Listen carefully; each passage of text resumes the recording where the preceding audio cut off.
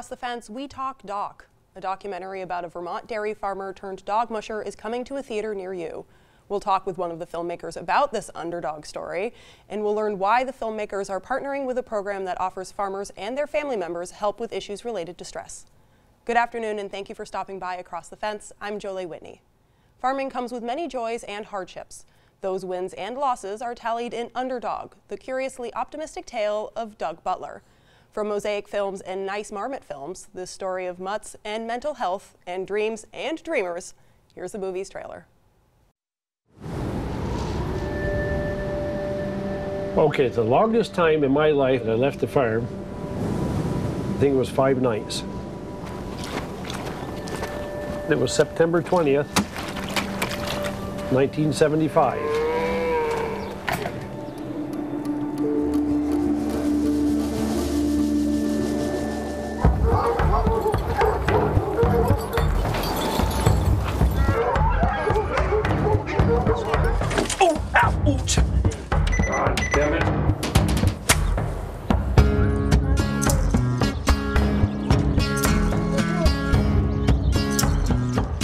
No, don't die. Come on. and I'll be paying every week to two weeks. I don't know how much to get us caught up.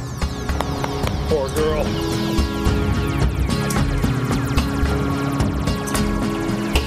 You got to make a decision somewhere online whether you, you want to sell the place.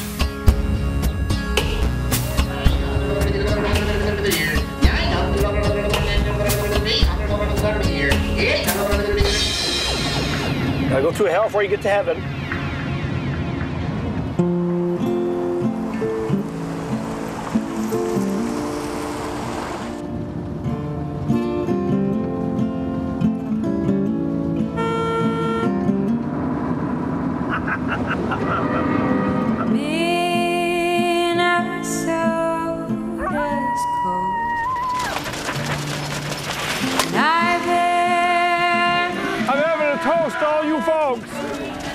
The farm boy made it. but I'll be You know what my theory is on no and no. Next opportunity.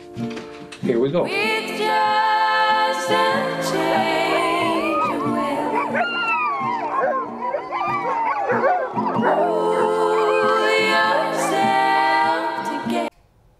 Joining me today are Tommy Hyde, the director of Underdog, and Leanne Porter from Farm First, a public not-for-profit program sponsored by the Vermont Agency of Agriculture and the Vermont Agency of Human Services Invest EAP Centers for Wellbeing. Thank you both for coming on our program today. Thank you so much for having us. Thanks for having us. All right, Tommy, we'll start with you. Can you tell me a little bit about how you met Doug? Yeah, so I, um, back 10 years ago, uh, took a college class um, where we went out into the local community uh, and made a little movie and uh, wrote a little piece about um, a local. And my professor told me about a dairy farmer in the outskirts of town who had a few sled dogs. Um, so I went over with my buddy Tito, and uh, turns out he had more than 50 uh, sled dogs. And you know, in that classic Vermont way, um, without even knowing who we were, Doug waved us on with a grin, and we were promptly covered in uh, cow manure. Absolutely. And uh, you know, the class ended. Doug and I stayed friends, uh, and I, um, you know, began the process, uh, now 10-year process of of making this movie about him. And how long did you work with Doug for the process of this movie?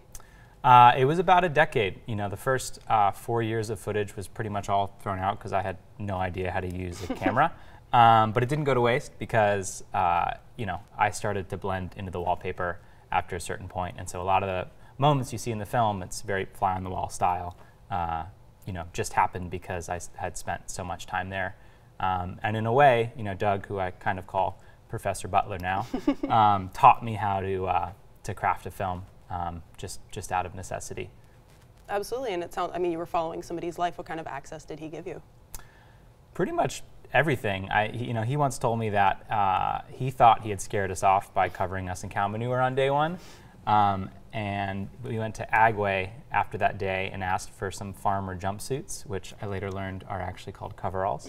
Um, and he said on day two, when we showed up in coveralls, that um, he knew um, that he could he could trust us. Um, so you know, kudos to Doug. He um, bares his soul in this film, and it takes a lot of strength, resilience um, to be able to do that. And we're, we're so lucky to be able to share in that. Absolutely. And Leanne, can you tell me about how Farm First got involved in the underdog story? Sure. Um, Tommy contacted me through our um, mutual connection to Vermont Public, right? And then we started talking and um, realized that this is such a wonderful way to talk about um, the challenges that farmers face um, and how it impacts their mental health. Um, to have this concrete, real story to connect to is amazing. And of course, Doug's story is about triumph and also tragedy. Can you tell me about some of the services that, that you offer? Sure, we have a continuum of care. We have um, an amazing website with tons of resources, and then we have a resource coordinator that you can just call, and she can help you with all types of resources. Our general focus is um, stress reduction and mental health, but she can um, connect farmers to all kinds of things. Um, and then we have a peer network where farmers can call other peers, other farmers, and just chat and um, talk to somebody who really gets it, you know. And then we have um, free counseling for short-term, problem-focused counseling um, for any farmer or their family members. All right, let's see if I can get the numbers right here. Um, as of 2020, there were 636 um, working dairy farms in Vermont, and now um, at the end of last year, there were only 519. So obviously, financial issues can be a real stressor on people working in farming. Do you provide any financial support? Um, we provide connections to grants and things that we find. We personally don't have the funding to share with farmers, but we connect them to all kinds of resources. Okay, and a lot of volatility, especially when you're looking at things like the milk industry or even just the day to day of working on a, a farm. There's a lot of stressors. Can you elaborate a little bit more about what you were saying about mental health counseling? Yeah, um, what, um, and I think you said this, Tommy, when you showed the film and everywhere in California, what people wanted to talk about, even though this is such an inspiring, cool story, was about some of the stressors that um, impacted Doug, and they're pretty universal. Um, and so uh, we really want farmers to understand that um, reaching out for support is okay. And um, yeah, the stigma around all of the mental health stuff needs to, you know, we all need to be more aware of what farmers go go through and support them. Absolutely. And for any viewers at home, if you're just joining us, um, we're talking about the challenges of being a dairy farmer and a new documentary about Doug Butler, um, who I believe it's called um, Underdog. Excuse me, help me out with here. The Courageous. The curiously optimistic tale of Doug Butler, yeah. Absolutely, thank you. Um, who went from being a dairy farmer to a sled musher. Um, and of course, we have Tommy Hyde, who's a filmmaker, and Leanne Porter, who um, works with Farm First for financial and mental help. Um, and the movie is about um, starts with him like selling his herd of cows, I believe. Um, and so, what's the status of his? He had a bunch of dogs. What's the status of that now? Yeah, so um, Doug unfortunately passed away this past fall. Um, it was a great tragedy to all of us on the film and um, certainly to everyone in the Middlebury community. I've never seen a more packed house than um, Doug's celebration of life. Um, he passed away from complications due to ALS, um, and uh, luckily, his son has been able to step in and continue to manage their small herd of beef cattle um, and hang on to the family homestead. Um, and the dogs, you know, Doug was known for his skill with cows, but also his skill with dogs. And so his uh, crop of mutts was well known around the Northeast um, and really around the country. And so uh, mushers from as far as Minnesota um, have come in and adopted um, all of Doug's dogs, and the ones that were a little bit uh, later on in their racing careers um, are now, you know, curled up on the couch, hopefully watching this right now. yeah, absolutely. Maybe a, a more relaxed life from here on out. exactly. exactly. Um, and obviously, we got to see a glimpse of the movie just a couple minutes ago. Um, but where is it touring now? You guys are around in, in the area, aren't you? Showing it. Yeah, so we um, are delighted to be partnering um, with Farm First, which, as I've been saying, it's like really a, where the rubber meets the road um, type thing for us documentary filmmakers. It's so hard to um, measure impact um, when you make a film, and, and partnering with an organization like Farm First allows us to really um, raise some awareness for an organization that's really has the boots on the ground. Um, and we're partnering with Vermont Public um, to bring the film to uh, theaters across the state. So we're going to be playing in Greensboro this week, and then later on in Montpelier, uh, in Middlebury, in Brattleboro, and in Burlington. Um, and we just keep getting messages um, wanting the film to be scheduled in other places. So um, if you check out our website, underdogfilm.org, um, there's a little screenings tab and uh, all the information about where you can catch the film will be on there. And then it'll be out on um, home entertainment uh, in, on April 2nd. Great. And Leanne, obviously you work with a lot of farmer mental health. So what does having a movie like this coming out mean to you? Oh, it's fantastic. And we have been invited to sit on um, a conversation panel after the film is premiered in each location.